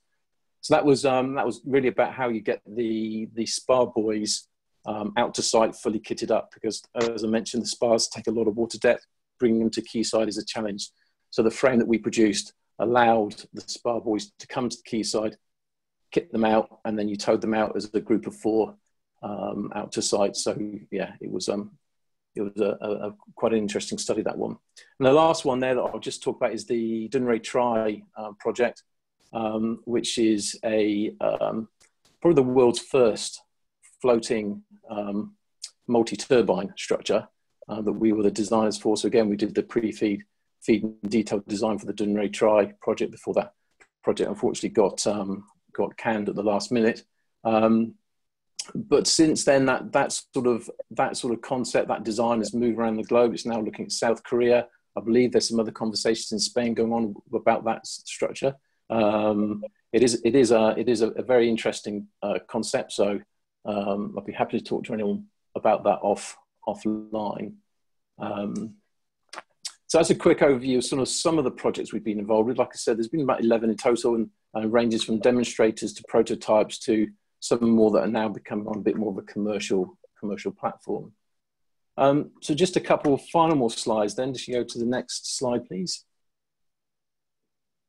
Um, as an active member of floating wind industry, we strive to shape and influence the floating wind industry through the involvement, involvement in a number of platforms, such as um, being a member, we actually we were the founding member of the Friends of Floating Wind, which is a group of companies uh, set up to shape the industry from policy um, regulatory perspective. We're also a member of Renewable UK Floating Wind Steering Group, and we're also a member of the technical advisory boards for a number of floating winds. I would certainly recommend anybody who's looking to jump into offshore wind to get in contact with these with these forums as a group or even become an active member because um, there's an awful lot of um, um, um engagement through the supply chain um, um, that can really really sort of help you on your journey there. it just moves to the last slide. We've also been a con contributor to the um, couple analysis JIP run by DNV GL to develop a new recommended practice for the couple analysis of floating wind turbine systems. Um, we've been a key part in influencing the direction of that floating wind, the codes and standards from two major classifications for DNV and ABS. We work very closely with, with both of those classification societies. Um, so look, that's a very quick overview. Um, a, a lot of information there. Um, giving you a little bit on sort of what we do in off, offshore wind, not just floating, but also fixed. Um, a, a, few of the benefits and challenges that floating wind sort of facing as, as we sort of strive forward.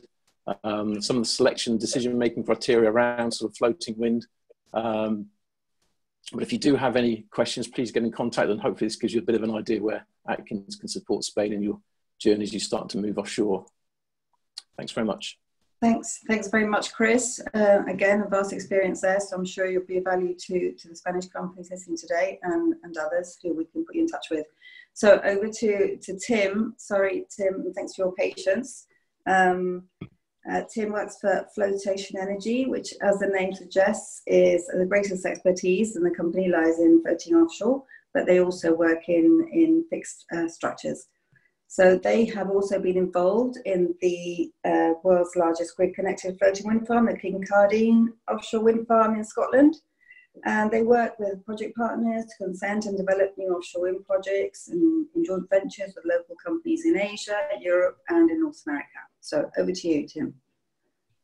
Thank you, Marianne. Apologies, I disappeared once or twice. I've got two kids well, going mental. Down well, it's probably night for you now, isn't it? Night time. It is, yeah, yeah, it's all right. It's all good. Right. Uh, I won't wait for the slides to come up. I'll just crack on just to sort of save time. I think we're 20 minutes over by now, which isn't too bad. Yeah, we are. Yeah. Um, yeah, flotation energy. Uh, my name's Tim Sawyer, so I lead the international um, project development side of flotation energy. As a team in the UK, we've got offices in Taiwan and Australia now. Um, and I'll give you, I thought I'd give you an overview of the company, a bit about the Kincardine project, um, and then a few sort of thoughts, I guess, on where floating wind is going as well. So Flotation Energy are an offshore wind developer, formed a couple of years ago and focused very much on fixed in the UK and floating. Um, internationally, we focus much more on floating. We've got a pretty unique track record and expertise. Um, I guess combined, we developed some three gigawatts worth of fixed offshore wind um, that starts with things like the Beatrice offshore wind demonstrator, which is the middle top picture there, uh, which was at the time the deepest jacket structures on the largest turbines uh, next to an oil gas field. Um, that's then expanded out into the Beatrice 588 megawatt offshore wind farm, which was the is now the fourth largest in the world, um, which we're involved in developing that, and Inch Cape and Moray Firth. So a fair amount of fixed offshore wind. And then in 2013, um, the founding directors of Flotation, which is um, Allan MacAskill and Nicol Stephen, um, conceived the Kincardine project. They saw an opportunity there for a, a floating wind project, um, proceeded to develop that very early, uh, and then bring it to where it is now, which I'll come back to later. Um, at the moment, we're focused focused on UK leasing rounds, which is basically um, round four in England and Wales, which interesting enough does not exclude floating wind. It's not necessarily focused on it, but it doesn't exclude it. Um, and also ScotWind, uh, which has got a lot of um, the, one of the first sort of commercial leases leasing rounds available to floating as well. We're also involved in the energy transition, which is basically combining oil and gas infrastructure with uh, offshore wind uh, and into international development uh, as well into Taiwan, Japan, Australia, etc. Uh, next slide, please. Um, so I'll, just wait for the next slide. We've heard a lot about the market, so that's the benefit of going last sometimes is other people cover the detail for you. So uh, thanks to Bruce and Chris. Um, but I'll pick up on a couple of points. Um, obviously, offshore wind is developed, is developing very quickly now. It's taken a couple of decades or more to get to this point, and a lot of work, a lot of risk to get there. Um, it's no different for floating. Um, if you're doing new things in new places, it is hard, and I think the previous speakers will testify to that. Um, and a lot of the growth that we're now seeing is, is in Europe still, and but it's also coming out into Asia as well which represents a pretty big export market for fixed and indeed floating offshore wind. There's been a lot of growth and the costs uh, have fallen. If you just use the UK contracts for difference as a metric, which is, it's got its challenges, I admit, but um, it's arguably down at the sort of 40, 50 uh, euros a megawatt hour, somewhere around there. Um, in a location with a very mature supply chain, a lot of experience. And it'll be interesting to see how that translates into these newer markets in Asia and indeed into, into Spain. Um, turbine size increasing. We, we heard uh, before the Sofia project now looking at 14 megawatts. There's larger turbines on the agenda. And a lot of UK developers, at least, are now applying for consent for 300 meter high structures offshore. So it's all an indication of where things are going. And of course, wind is emerging as well. Um, I'll just make one last point that um, Marianne touched on. The UK government now has floating wind in their policy agenda uh, as part of this 40 gigawatt target and the realization that perhaps we're running out of room for fixed for various reasons, uh, which is a really positive step. And that's where things like ScotWind also come in as well. And that's a really good signal, I think, for Spain that the UK is prepared to put that into a policy setting and to back it. And there's now a consultation as well on um, a floating offshore wind contract, contract for difference, which is great. Uh, next slide, please. Um, so we've heard a bit about floating offshore wind. Um, lots of benefits, namely we've got a lot of fixed in shallower waters, typically less than maybe 50 meters. Uh, as you go deeper and as you're forced to go deeper, um, floating structures become more viable. Um, if you look at places, Spain's a good example, very uh, steeply shelving seabed. Japan, the same sort of thing, 80% or more of their offshore wind resources in deeper water. And these are areas represent big markets where floating is going to take off and where perhaps there's limited fixed offshore wind. Provides lots of benefits, uh, and I think Chris went through some of those in terms of being further offshore, so you get more wind resource, a cleaner resource, arguably. Um, by having floating structures, it offers the opportunity for onshore assembly and commissioning of the whole structure and towing offshore. That, of course, needs a suitable port infrastructure to go with it. More efficient offshore activities um, creates new commercial opportunities for supply chain. And that's a really important point, I think, for Spain is a question of do, does Spain want to be a leader in floating offshore wind or does it want to be a follower? And I think the benefits of being a leader is you get more of that supply chain benefit, more of the technology developments, etc.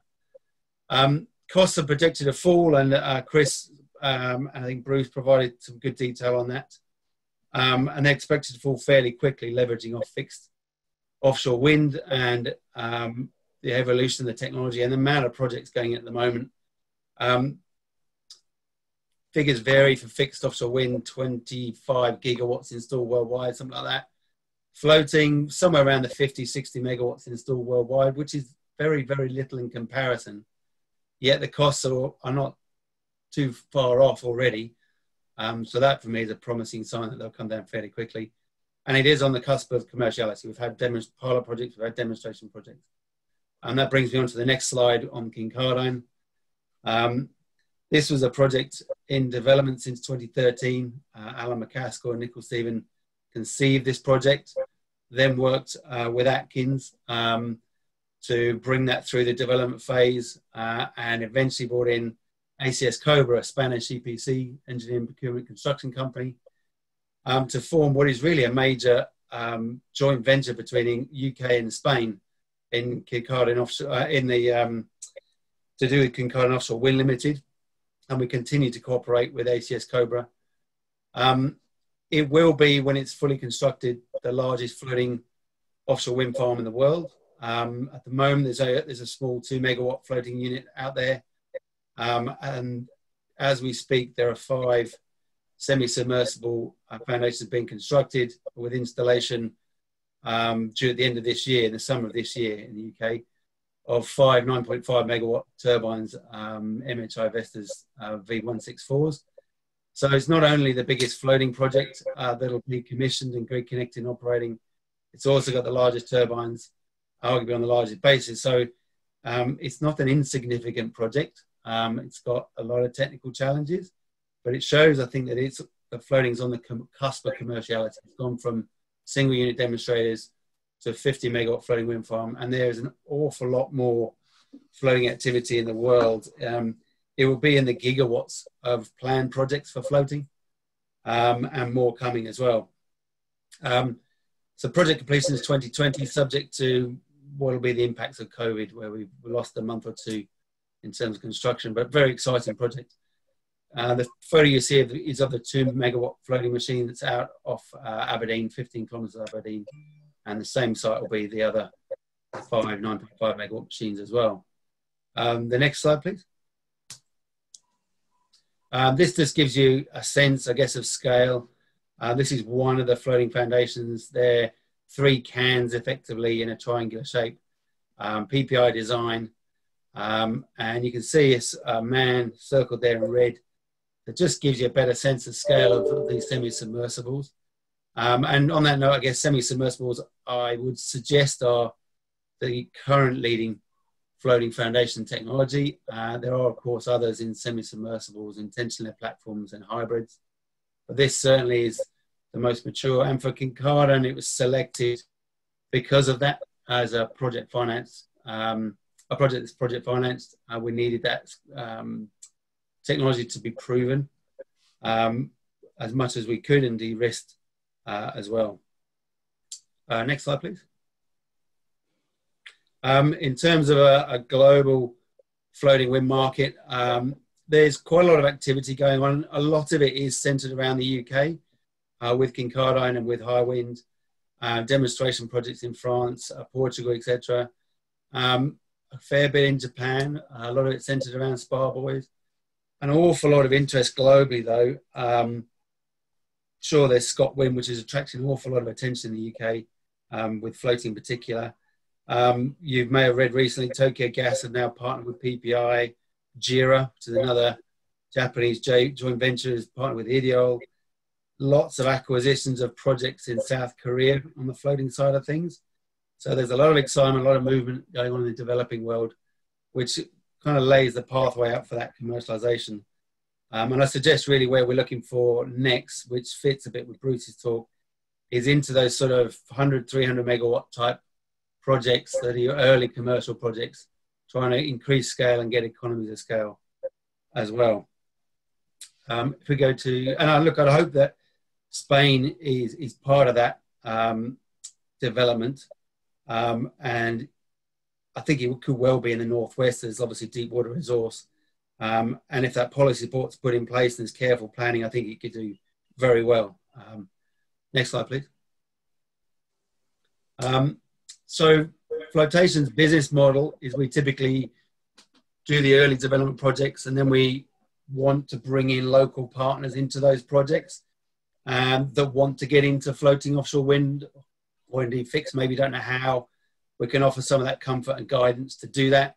So we're very much in a partnership model.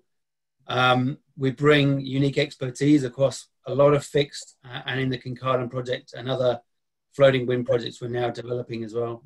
We're very active in the current UK leasing rounds. Um, we're developing further projects in Europe and Australia and Asia. Um, and look, I think we'd be a strong partner. So if anyone's interested from the Spanish side of things, we'd be grateful to hear from you. We're obviously active at, at the moment with ACS Cobra in that joint venture for Kincardine. And indeed DT Birds as a monitoring system, which is Spanish origins as well. Um, I'll leave it there. Hopefully I've galloped through as much as I can in as short a time as possible, but thank you for your attention. Yeah.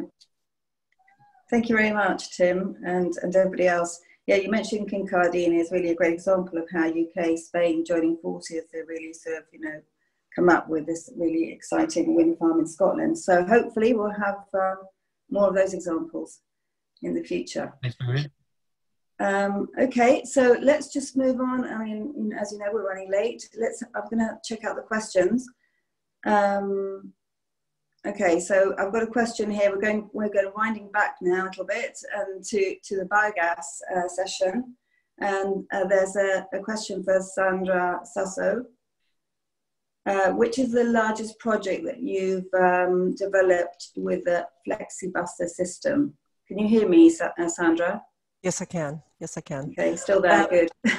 yeah, no, thank you for the question. The the system is scalable, so but generally, when we get to a certain amount of waste, it no longer makes sense to put modular systems in, unless it's because the site needs to distribute the processing capacity. So, uh, you know, theoretically, there's no limit to the amount of waste that we could process, but it will be uh, groups of modules. So the largest module set that we do for food waste is two and a half tons a day. And the largest uh, set for um, the sewage and animal manure is substantially larger than that, um, depending on the type of, of slurry that's being put in. So we go up to 15 digesters um, tied into the modular system. So um, the largest one that we've done uh, or that we're currently doing is a 10 ton system. Uh, so 10 tons a day of processing capacity on the food waste side. Okay. Okay. Thank you. Thank you, Sandra. Uh, question for Nicholas. Um, in the, it says, I'm, I'm translating this in Spanish. In the presentation, Spain was one of the countries that had installations uh, which uh, departments are already operating in our country, in Spain? Nicholas? Okay, not there, Nicholas? No? Okay, so question for Bruce. He's mute. Um, as ex- he's mute, Marianne. He's answering, but he's mute. He's in mute. Uh, you hear me now? You hear me now? Oh, it's yeah, okay? I can hear you now, yeah, go on. Yes. Yes, as explained, we, don't have any department in, in Spain. I'm taking care of Spain from France, from Lyon.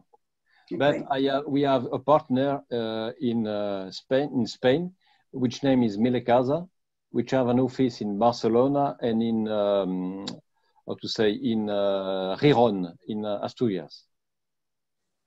You hear me? Yeah. Okay, sorry. Okay, thank you, thank you. And a question for, for Bruce um, and others really on, on the floating session.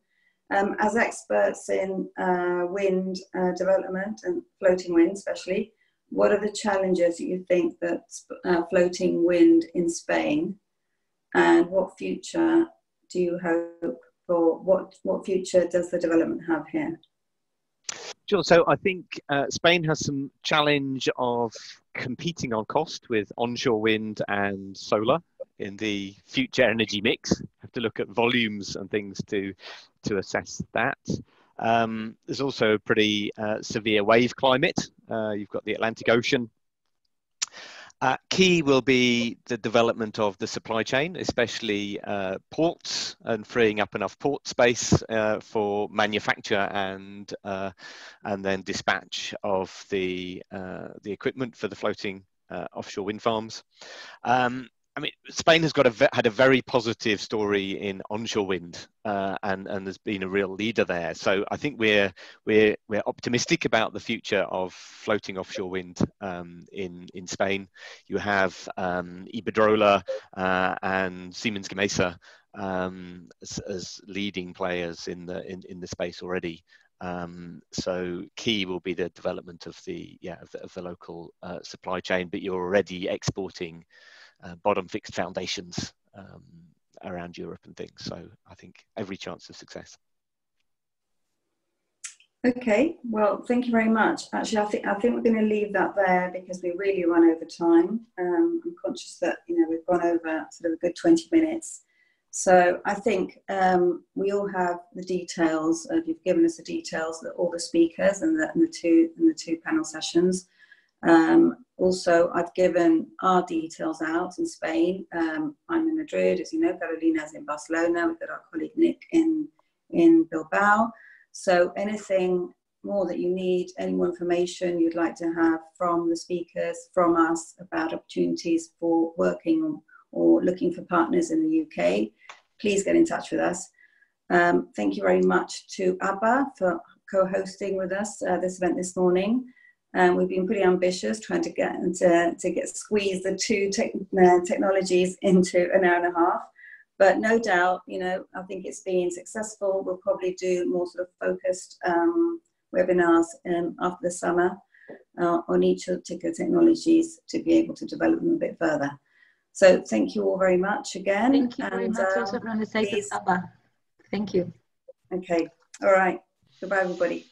Thanks all. Bye. Bye very much. Bye-bye. Bye. Thank you.